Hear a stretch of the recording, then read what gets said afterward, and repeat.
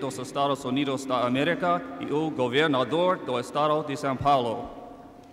Ladies and gentlemen, the President of the United States of America and the Governor of the State of São Paulo.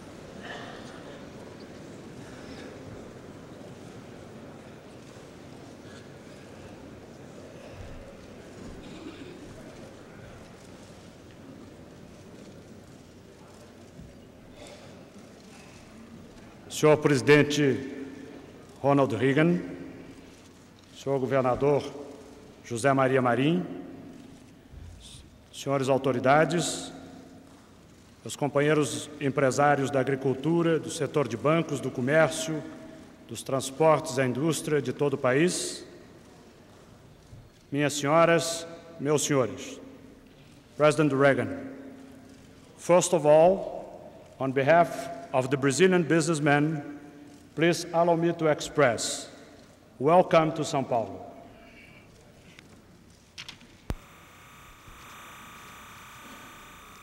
Senhor presidente,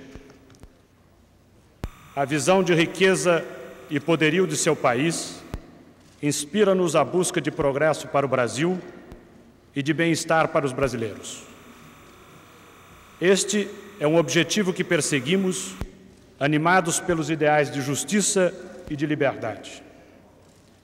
Motivados igualmente pelo valor do trabalho, pelo desafio de construir, pela vontade política de forjar e consolidar uma grande nação.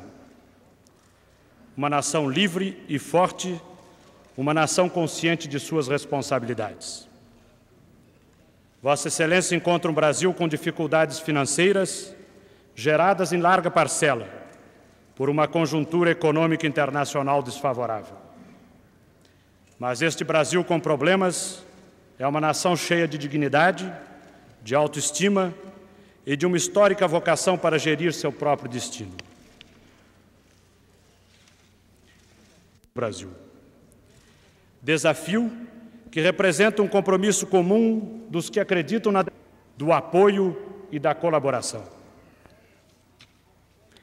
Um papel que considere o fato de que o Brasil, de confiança que o Brasil requer no momento atual, se vincula diretamente ao futuro da democracia.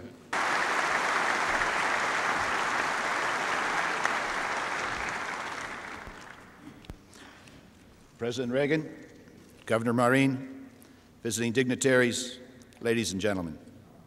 On behalf of not only the Rio and Sao Paulo American Chambers of Commerce, but also the over 500 American companies doing business in Brazil, and the several thousands of Americans living and working here, it is a great honor for us to have our President visit Brazil. American investments have always played a major role in Brazil. In fact, we are the largest single foreign investment country here, and that is because of two reasons. First, because of Brazilian energy, drive, and business method methodology are something we can relate to and secondly, because Brazil continues to offer many opportunities for American entrepreneurial skills and talents.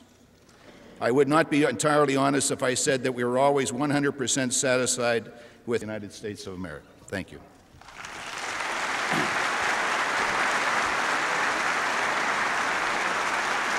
Thank you very much.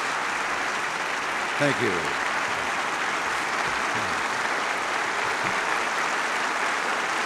Thank you very much.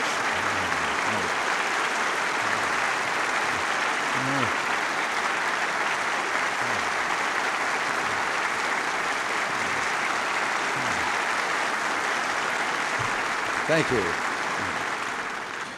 Thank you very much. Governor Marin, obrigado. Thank you very much. I've looked forward to this day. It's an honor to speak to men and women of enterprise here in Sao Paulo. This city was built by innovation and hard work in a spirit of confidence and hope. I bear heartfelt wishes of friendship from your neighbors to the north who, like you, are Americans, citizens of this new world. Like you, they yearn deeply for peace, share your love for democracy, and your commitment to build a future of progress and opportunity.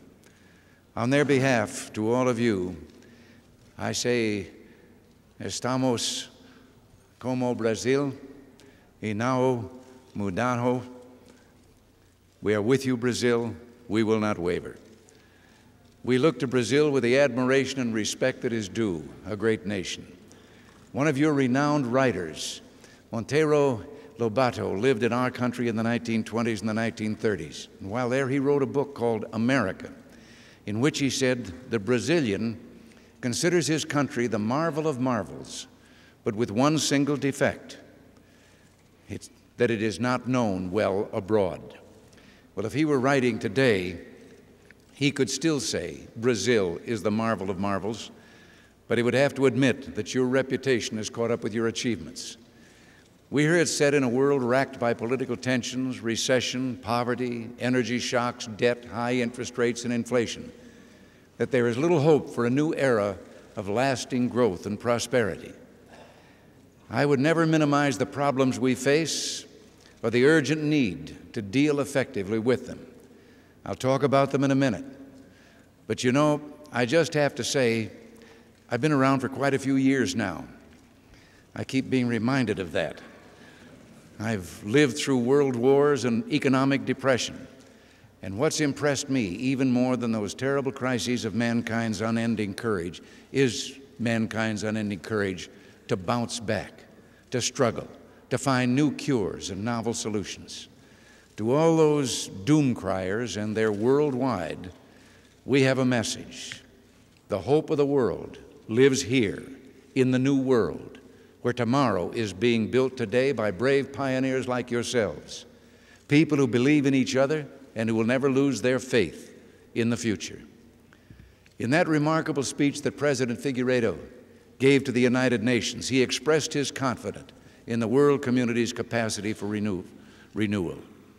He said of Brazil, We have made considerable efforts toward economic development with promising results, which fill with hope not only the people of Brazil, but also all peoples yearning to attain standards of living compatible with human dignity and modern development.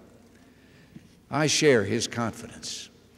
May I also share with you today a dream that I've long had a dream of strengthening our relations with Brazil and with all our neighbors here in the Western Hemisphere. On this shrinking planet, the drive for renewal, economic progress, and the leadership for world peace must increasingly come from the New World.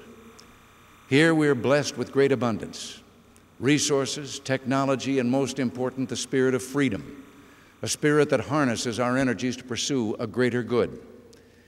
There is in the world today a counterfeit revolution, a revolution of territorial conquest, a revolution of coercion and thought control, where states rule behind the barrel of a gun and erect barbed wire walls, not to keep enemies out, but to keep their own people in. The real revolution lives in principles that took root here in the New World. The first principle says that mankind will not be ruled, in Thomas Jefferson's words, by a favored few. The second is a pledge to every man, woman, and child, no matter what your background, no matter how low your station in life, there must be no limit on your ability to reach for the stars, to go as far as your God given talents will take you. Trust the people. Believe every human being is capable of greatness, capable of self government. This is the soul of our revolution, the soul of democracy and freedom. It's the new world's gift to the old. Only when people are free to worship, create, and build, only when they're given a personal stake in deciding their destiny and benefiting from their own risks, only then do societies become dynamic, prosperous, progressive, and free. In terms of geography, Brazil is of the south and the United States the north. But in terms of historical ties and fundamental values, we are nations of the West and the New World.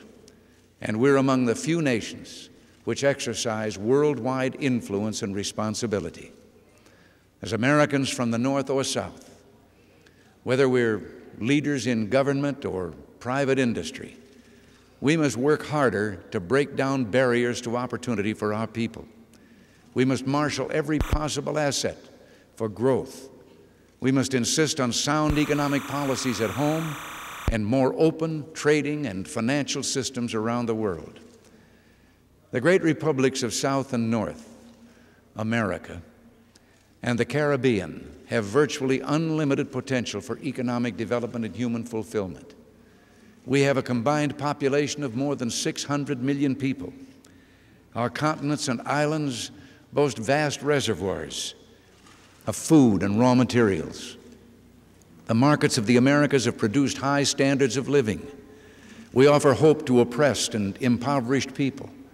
We're nations of immigrants. Our resources have made the New World a magnet for migration from all continents. But it has been the vision, the enterprise, the skill, and the hard work of our people that has created our wealth and well being. The developing countries of this hemisphere have achieved a record of soaring growth over the last generation. Growth in savings, investment, work, and resources, growth from open world markets for trade and finance, growth from private initiative, risk, and reward, the cornerstones of both economic and political freedom. When we in the States look at Brazil, we see the success of an economy that grew fourfold in 20 years, more than doubling per capita income.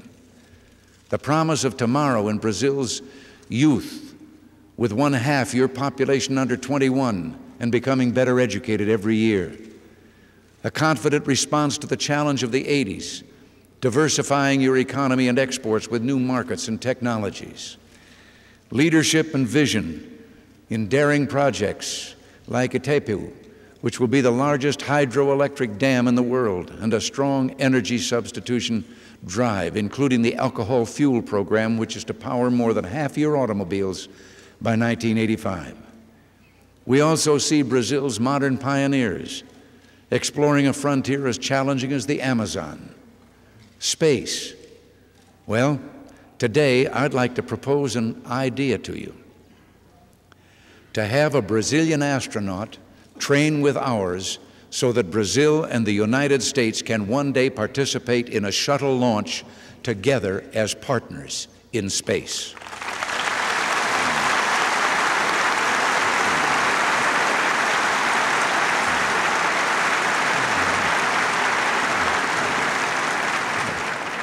Last night, I told President Figueiredo that the United States has confidence that Brazil will overcome its difficulties just as the United States will overcome its own.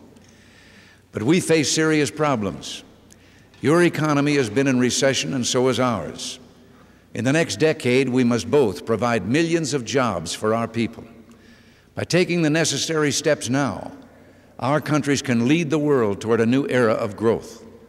But this time, growth without the albatross of runaway inflation and interest rates. Three things are essential for world, full world recovery and development. We must each move to correct our domestic economic and financial problems. We must protect the integrity of the world's trading and financial systems. And we must work together to help the international system evolve and better assure our mutual prosperity. The first, most important contribution that any country can make is to get its own economic and financial house in order. Many countries, including our own, did not do so. Somewhere along the way, the leaders of the United States forgot how the American growth miracle was created. We substituted government spending for investment to spur productivity. A bulging bureaucracy for private innovation and job creation, transfers of wealth for the creation of wealth, by rewards for risk taking and hard work, and government subsidies and overregulation for discipline and competition from the magic of the marketplace. For the United States, the way back has been hard. When my administration took over, we faced record interest rates and inflation and the highest peacetime tax burden in our history. Our recovery program is designed to help us make a long overdue transition to an investment powered, non inflationary economy that will put the United States back on the cutting edge of growth. We have cut the growth of federal spending by nearly two thirds, and soon we will have reduced personal income tax rates by 25%, well, more than that, total tax rates. We have cut the top rate of tax on interest and dividend income, introduced strong new incentives for savings, encouraged capital foundation or formation by permitting more rapid depreciation of plant and equipment, and aggressively pursued deregulation of markets in energy, transportation, and finance. Many of these reforms have been in place for barely a year. Much more remains to be done. You can't wipe away decades of sin with one year of penance. But confidence is returning to the United States. We believe recovery is in sight. Inflation and interest rates have been brought down dramatically. Real wages are increasing for the first time in three years. Productivity is up sharply. Venture capital in small business, the best source of job creation and technological innovation, is near a record. The personal savings rate is at a six year high.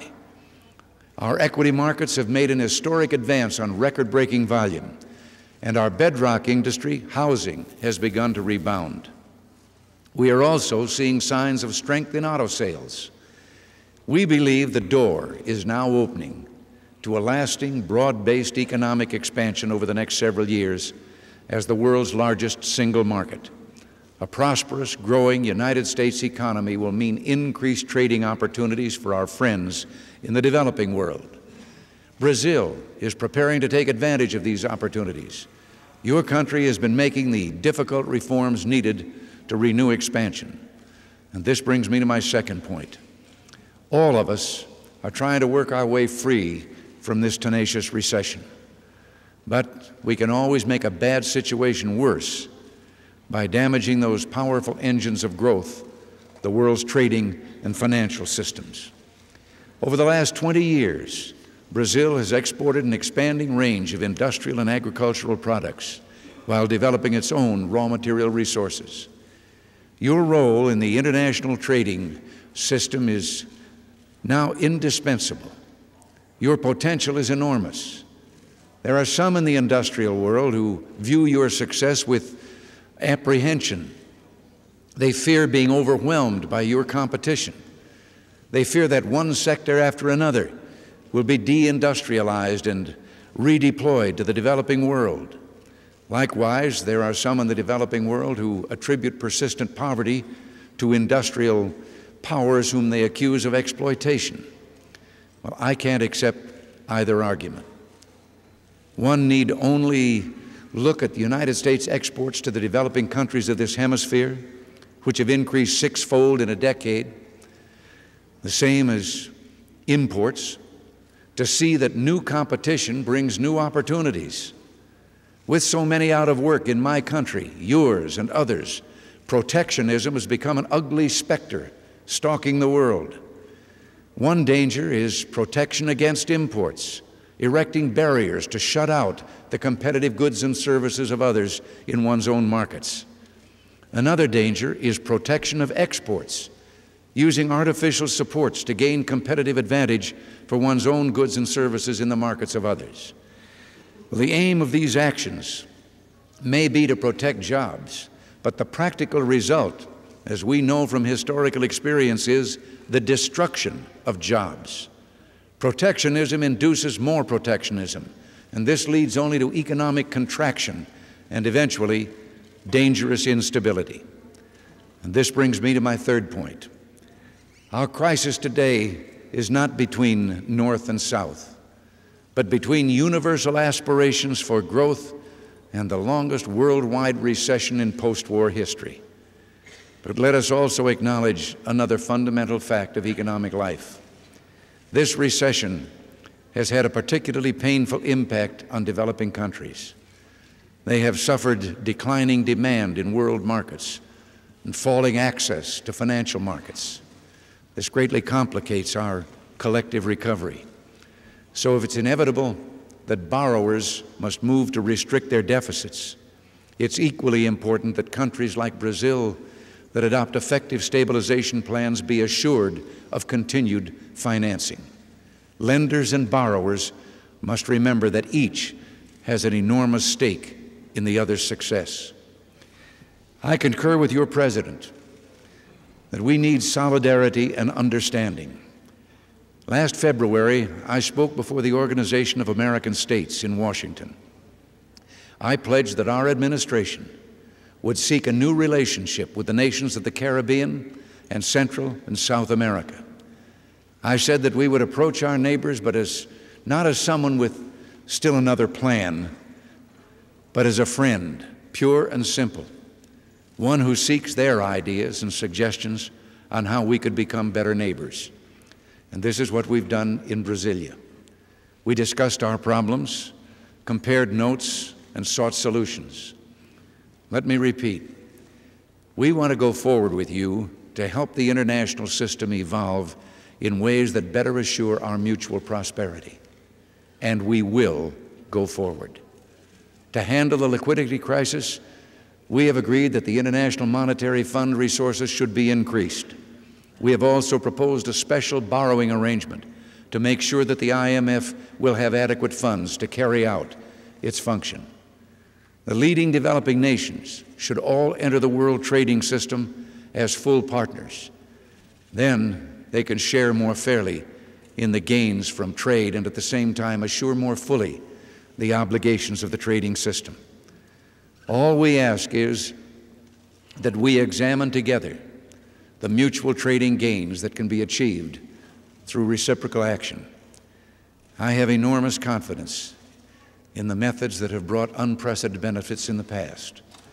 We must improve the mechanisms for the settlement of trade disputes to take economic quarrels out of the political arena and base resolution of conflicts on criteria we all respect. We must complete unfinished business. Trade in agriculture, which has resisted liberalization in the post war years, and agreed rules on safeguards in the event of injury that provide for transparency and equity. And we must look forward to the emerging challenges of the 1980s such as trade in high technology products and processes. Processes then to devise rules that will ensure we do not impede the growth potential of the technological revolution. Finally, let us remember that justice progress is impossible without peace, economic growth is a crucial pillar of peace, beckoning with brighter horizons all who dream of a better life. To deter aggression, the United States must and will remain militarily strong.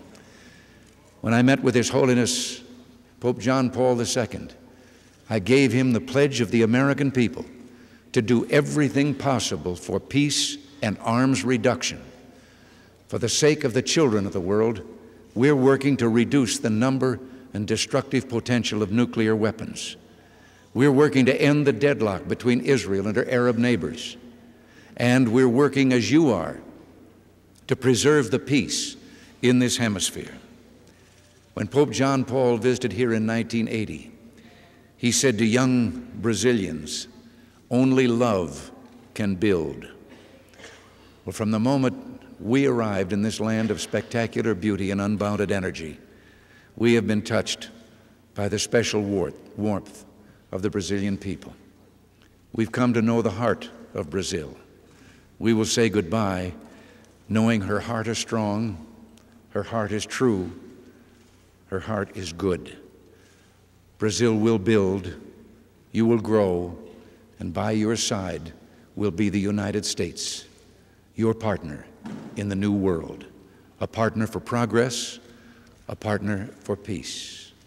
And estamos como Brasil Inaho Mudamos. Thank you very much.